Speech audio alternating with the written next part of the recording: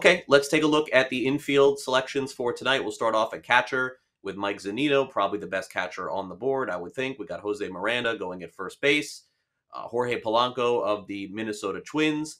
The Astros, I'm assuming, are going to be without Jose Altuve today. After I don't know if you saw that foul ball off the groin yesterday, Davis. That's not Yep. something I'd like to replay here on the show. Alex Bregman, he is priced at 4,900, and then Javier Baez of the Tigers is at 5,000 today. And he won't be the highest priced player you have, but he's the highest priced infielder you have today. Yep, always love Mike Zunino against a lefty. I mean, we we know what we're getting with Mike Zunino. He is not going to hit for average.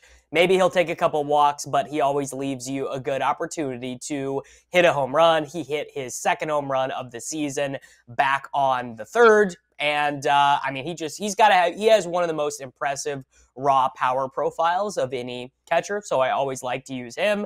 This uh, Miranda fella, I don't know a ton about him but I do know that his, uh, you know, his his Fangraph scouting report paints him as a guy with some good raw power. He's been getting a good spot in the lineup for the Minnesota Twins. He's been batted fifth for the last three days uh, because uh, Miguel Sano is injured and Kyle Garlick is also on the 10 day DL. So they've just kind of needed him and uh, has not. I mean, he's, he's barely done anything yet. He's got one hit, but uh, and and as I mentioned, this uh, this Minnesota lineup I think is going to be fairly popular. So of course we have Jorge Polanco in there as well.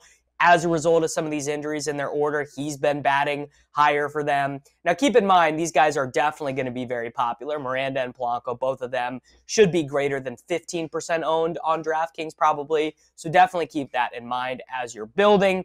Bregman, uh, honestly, not having the greatest start to the season. He's hitting 247, four home runs. He uh, had a really good game yesterday, went three for three with two walks. And I like this matchup for the right handed bats for Houston against uh, Tarik Skubal. You know, again, Skubal, decent starting pitcher, great pedigree, you know, could be a, a great left hander someday. Right now, he's just okay. So I like some of these right handed Houston bats. And then Craig knows Javi Baez. I love the guy because, I mean, with Javi Baez, you're pretty much getting an 0 for 4 game with two strikeouts and two, you know, ground into double plays, or you're getting a home run, a double, a stolen. Like he, he's getting you zero or he's getting you 22 on DraftKings. And, uh, you know, that's how I like to play the game. So we're going with Javi Baez against Jose Urquidy.